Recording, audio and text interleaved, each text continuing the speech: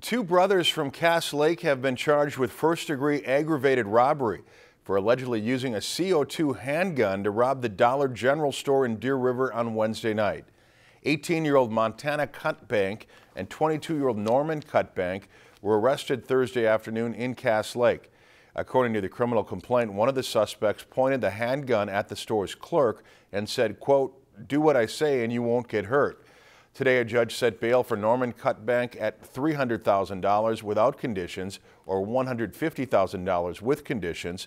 Bail for Montana Cutbank was set at $100,000 without conditions or $50,000 with conditions. Both men are scheduled to appear in court again on February 5th at separate times.